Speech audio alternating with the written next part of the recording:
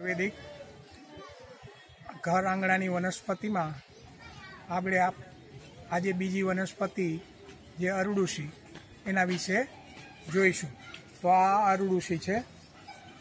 હવે આપણા આયુર્વેદિક શાસ્ત્રોની અંદર લખેલું છે કે આ પૃથ્વી ઉપર જ્યાં સુધી અરડુસી હશે, ત્યાં સુધી રક્તપિત્તના દર્દી અને શ્વાસ દમના દર્દીઓ મૃત્યુ નહીં પામે. કારણ કે આ અરડુસીથી આ દમ શ્વાસ અને રક્તપિત્ત સંપૂર્ણપણે નાબૂદ થાય છે. હવે આપણે આ અરડુસીના નામ વિશે જોઈએ તો એને ગુજરાતીમાં આપણે અરડુસી કહીએ છીએ અને હિન્દીની અંદર એને વાસા તરીકે ઓળખવામાં આવે છે અને સંસ્કૃતની એને અડરુસ તરીકે ઓળખવામાં આવે છે અને એનું લેટિન નામ છે આધાટોડા વસિકા. આઢા ટોડા વસિકા એ એનું લેટિન નામ છે. આ અરુષિની જે આપણે માહિતી થઈ અને હવે એના ગુણો જોઈએ. તો એના ગુણ છે, એ સિત્તવીર્ય છે, લઘુ છે, તીખી છે, કડવી છે અને ઉધરસ, શ્વાસ, કમળો વગેરેનો એ નાશ કરનારી છે. હવે આપણે અરડુસીના ઉપયોગો વિશે જોઈએ.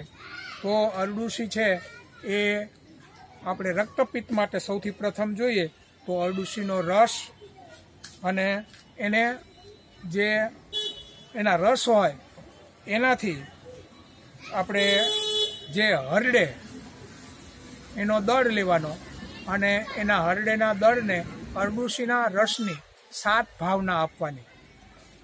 અને એની જે સાત ભાવના આપ્યા પછી એ અર, એ હરડેને જો આપણે ઉપયોગ કરીએ લેવામાં તો રક્તપિત્ત છે એ એનાથી મટે છે. ત્યાર પછી હવે આપણે જોઈએ તો શ્વાસ ઉપર તો અરડુસી છે, એનો રસ મધમાં નાખી અને ચાટવામાં આવે દરરોજ સવારે અને સાંજે, તો આ શ્વાસની અંદર ઘણી બધી રાહત થાય છે. પછી આ અરડુસી છે એ શ્વેત પદર ઉપર પણ એનું કામ કરે છે. તો અરડુસીના જે મૂળ છે, એનો રસ કાઢી અને મધની અંદર ચાટવામાં આવે તો એનાથી શ્વેત પદર પણ મટે છે અને બાળકોનો કફ વિકાર. તો સવારની અંદર બાળકને એનો રસ બે ચમચી કાઢી અને બે ચમચી મધ નાખી અને એને જો પાવામાં આવે તો બાળકની દરેક જાતના ફેફસાના જે રોગો છે એ નાશ થાય છે. એટલે બાળકના જે છે એની ઉંમર પ્રમાણે, એની શક્તિ પ્રમાણે એને રસની અંદર અને મધની અંદર થોડો ઘણો ફેરફાર કરી શકાય છે. અને હવે ઉધરસ છે, તો એનો રસ કાઢી અને ગરમ કરવો. પછી એને મધની અંદર ઘૂંટવાનો. પછી એટલો જ બાર હળડે લેવાની અને હળદરનું ચૂર્ણ અને બેહડાનું ચૂર્ણ નાખી અને એને ઘટ કરી અને કેટલું ઘટ કરવાનું છે? તો કે જે ચાટણ તરીકે થાય તેવું.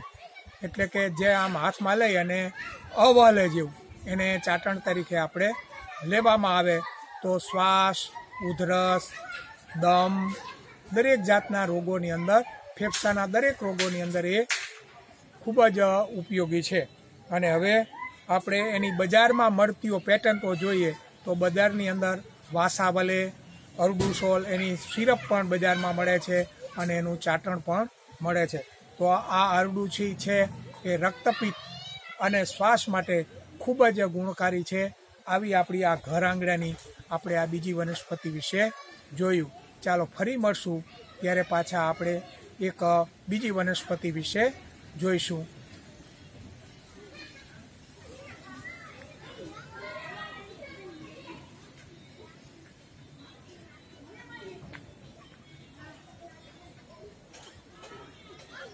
જય